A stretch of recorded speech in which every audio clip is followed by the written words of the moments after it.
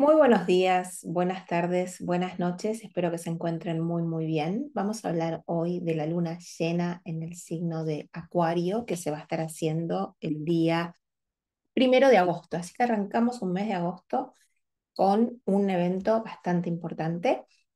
Eh, para los que no me conocen, mi nombre es Priscila, soy la astróloga de los astros dicen y espero que, como todas las semanas, traigo información sobre lo que vamos a estar viviendo.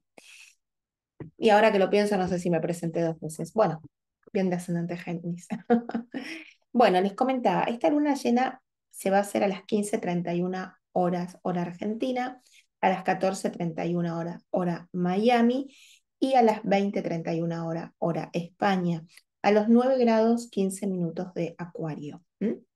La luna llena marca un momento de cierres, un momento de culminaciones, un momento de finales y generalmente se suelen vivir con tensión. Se viven con tensión porque es un momento donde la luna se para frente al sol, de alguna manera nos genera una cierta tensión que tiene que ver con lo que necesito, está como enfrentado a lo que quiero.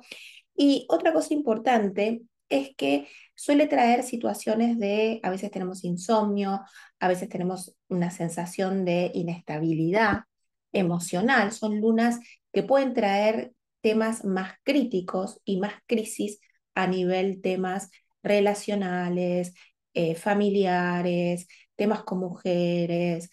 Pero la realidad de la historia es que esta luna llena también trae, todas las lunas llenas traen como una, así como la vemos en el cielo grande, luminosa, y que vemos el camino si no tuviéramos luz, de alguna manera en nuestra carta natal también nos marca como una luz, nos muestra algo, nos hace ver algo que antes no veíamos. Entonces, también es importante como registrar eso, ¿no? ¿Qué es lo que voy a ver? ¿De qué me voy a dar cuenta? Y puedo reorientar algo. Las lunas llenas, ¿qué tan importantes son para todos nosotros? No es las lunas llenas son importantes para todos, a nivel mundial también, también tiene mucho que ver con el cambio, con el cambio no, con el clima, entonces tres días antes, tres días después de esa lunación, podemos ver cosas que tienen que ver con, con el clima, cambios, eh, o no, pero tiene que ver con cómo se va a presentar para las próximas dos semanas un poco todo lo que es la parte climática.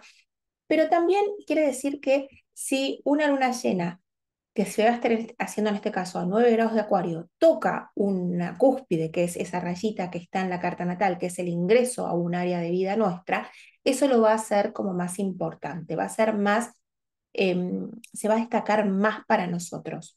Eso es importante que lo sepamos. Y va a traer, va a ser más claro para nosotros que vamos a estar viendo algo que antes no veíamos.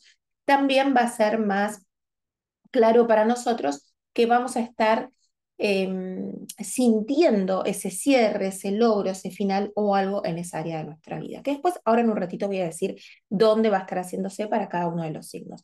Es una luna llena tensa, es una luna llena tensa en general, porque esta luna llena, de alguna manera, está comandada em, también por eh, un Saturno, un Saturno que está en Pisces.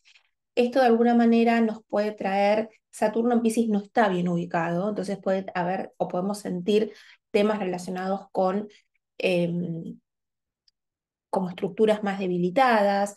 Eh, también es verdad que eh, el Sol está en, en, Leo y la Luna está en Acuario, entonces hay que encontrar un balance entre el brillo, el querer mostrarme, el querer ser reconocido y un poco una mirada más hacia el otro, hacia observar el mundo, ¿no?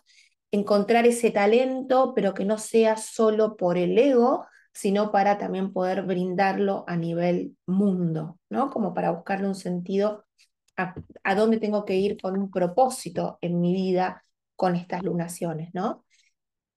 Esta luna llena, como les decía, está regida por Saturno y está regida por Urano. Y Saturno se encuentra en el signo de Pisces, que además empezó su retrogradación. Esto también puede marcar demora. Sabemos que Saturno en Pisces trae como eh, sobre la mesa los temas que tengan que ver con artistas, con músicos, con cinematografía, con líquidos, con aguas, con océanos, con gas. Em, con lo cual puede presentarse más de estos temas durante este periodo. De todas maneras, este Saturno está haciendo una oposición con Mercurio, está haciendo una oposición con Marte. Esto está trayendo también quizás demoras en planes, en acuerdos, en negociaciones, en comercio. No va a ser buen periodo para todas estas temáticas, ¿no? Puede haber temas de paros de transporte, problemas en las calles, em, problemas con también temas de educación, temas de papeles, mm, bloqueos en las calles, alguna noticia o cosas relacionadas con niños que no sean agradables también podemos estar escuchando o que, o que salgan más a la, a que, esté más visible en las noticias, por ejemplo, ¿no? Podría llegar a ser. Y Saturno oposición Marte claramente también trae una energía bastante de tensión, de mucha frustración. A su vez Urano está haciendo, al mismo tiempo que es, Urano está en el signo de Tauro, y esto está trayendo también quizás alguna sorpresa económica porque Urano va a estar haciendo una cuadratura con Venus. Venus hace una cuadratura con Urano, Venus está retro, esto puede traer algo como más notorio que tenga que ver con alguna corrida financiera, algún tema relacionado con ese tipo de temas económicos y finanzas, pero también con temas de relaciones, ¿no? Acá las relaciones están en crisis, estamos viendo muchas separaciones, típico de un Venus retro, donde nos planteamos las cosas y tomamos decisiones antes de que Venus empiece a caminar directo, pero de alguna manera todavía podemos estar escuchando más cosas de estas, ¿no? Eh, con lo cual, esto ya solo con decirles esto marca una tensión fuerte. A su vez, esta luna llena hace una cuadratura con Júpiter. Esto puede traer excesos, puede traer situaciones de excesos y además esta cuadratura, mm, esta luna llena, va a activar un poquito, algo que de un contacto planetario que se va a sentir el año que viene, que es la conjunción de Júpiter con Urano. Júpiter está en esta lunación a unos 13 grados, 46 minutos, casi 14 grados, y Urano está a 22 grados 46. Es decir, que este mes de agosto vamos a estar sintiendo un poco eh, algo que va a traer como una primera muestra de lo que vamos a vivir más adelante el año que viene cuando tengamos la conjunción de Júpiter con Urano, que va a ser uno de los tránsitos más importantes del 2024. Y generalmente esto se puede sentir también como alguna cosa que aparece sorpresiva, algo como una carga energética en algún área. Eh, pero a nivel de esta lunación, esto va a estar trayendo como excesos, como exageraciones, como eh, desbordes, em, ese tipo de cosas, ¿no? A nivel climático también, este Mercurio oposición Saturno puede traer con, la, con, con la, esta luna llena cosas más relacionadas con un clima más nublado, con que no se ve tan claro, ese tipo de cosas, ¿no? Bien, después tenemos a em, Marte está haciendo un trígono a Júpiter, activando también la presencia con una energía impulsiva y también de mucha confianza. Y también esto Júpiter gobierna, es un planeta que tiene que ver con los ricos, que tiene que ver con los valores, que tiene que ver con em, la riqueza en general, no solo los ricos, la riqueza. Entonces acá puede haber algunos acuerdos que escuchemos a nivel mundial en relación a algún tipo de estas, de estas cosas o de estas temáticas. Em, con respecto a cómo cae en Argentina esta carta en Buenos Aires, se hace en la casa 2, que es la economía. Creo que la parte económica va a ser un tema sumamente fuerte y de mucha atención durante todas estas últimas dos semanas, todas las próximas dos semanas. Eh, Plutón va a estar en la casa 2, con lo cual trayendo también mucho, mucho lío, mucha situación de cambio. Y por otro lado, con mucha energía puesta en lo que es la parte judicial, la parte de la justicia. Y también podemos escuchar más conflictos relacionados con los transportes, con paros, con ese tipo de situaciones. Eh, a nivel personal, a cada uno se nos va a estar haciendo algo, un cierre, una culminación que tiene que ver con algún lugar de nuestra carta. Pero antes de ir por los signos, quisiera comentarles algo. Que agosto viene cargado de muchas cosas que voy a estar dando. Número uno, El día 8 de agosto voy a estar dando una clase gratuita de astrología. Para los que se están internalizando en este mundo, les interesa saber más, voy a hacer una recorrida por los planetas, por lo que significa cada planeta, la función de cada planeta, por los ascendentes, por las lunas. Es importante, si quieren asistir a esta clase gratuita, que puedan dejarme eh, su mail en una página para que yo les mande después el link para donde va a ser esta clase. Esta clase va a ser a las 18.30 Argentina, 17.30 Miami del martes 8 de agosto o 23.30 España del martes 8 de agosto. Les voy a dejar el link en la descripción de el, del video y en el primer comentario de este video para que ustedes se puedan sumar y dejen su mail para que yo les mande la información y puedan estar conmigo en esta clase gratuita. Por otro lado, contarles que el 14 de agosto vamos a estar dando una clase de la luna nueva en el signo de Leo. Esta clase de la luna nueva en el signo de Leo va a estar, vamos a estar viendo su carta natal para saber a dónde se hace. Entonces también es importante que puedan de alguna manera eh, estar atentos para sumarse. Entonces díganme que quieren sumarse a la clase de luna nueva y yo les paso el link.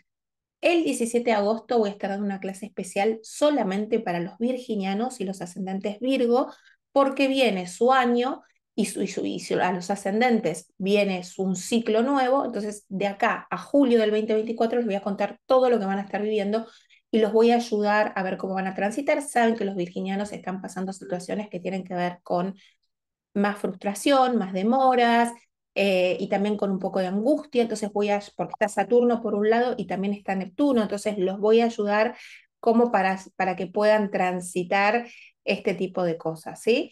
Por otro lado, los que cumplan años o los ascendentes anteriores también tienen su clase de todo lo que van a estar viviendo, así que los que quieran y les interesen los acuarianos ascendentes acuario, los piscis ascendente piscis, los aries ascendente aries, los tauro ascendente tauro, los géminis ascendente géminis, los cáncer ascendente cáncer, los leo ascendente leo, todos tienen disponibles la clase.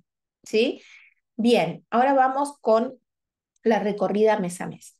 Esta recorrida es, signo por signo. Para ascendente Aries, esta luna llena se hace en tu zona de grupos y de amigos. Lo estás cerrando algo. Para todos, que empezó en el 21 de enero del 2023, piensen qué cosas empezaron.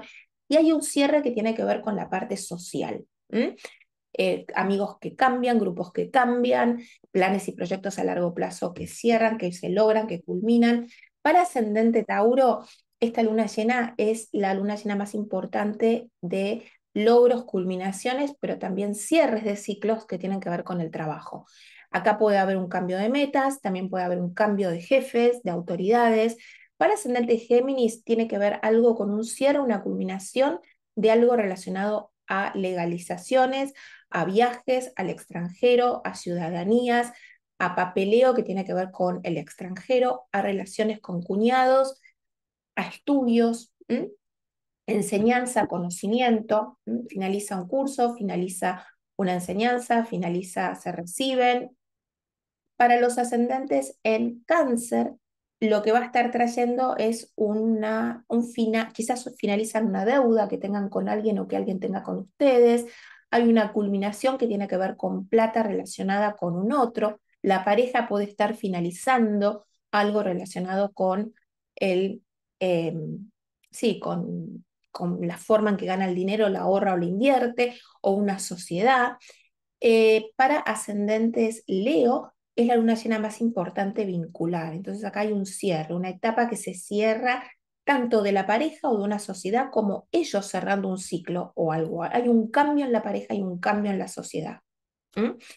Para los ascendentes en Virgo, la luna llena se hace en su zona de trabajo, de rutina. Acá Pueden terminar un tratamiento médico, un programa de alimentación, pueden terminar un trabajo, cambios de trabajo, cambios de colegas, una mascota. Si está cerca de su casa 6, el grado 9 de acuario, y una mascotita está mal y se ha cumplido su misión en la vida, puede ser un momento como definitorio o clave o importante de esa mascota, no a todos los ascendentes Virgo pasa eso, por Dios, no, no a todos. Piensen que puede, las lunas llenas desencadenan cosas que ya estaban pasando, ¿sí?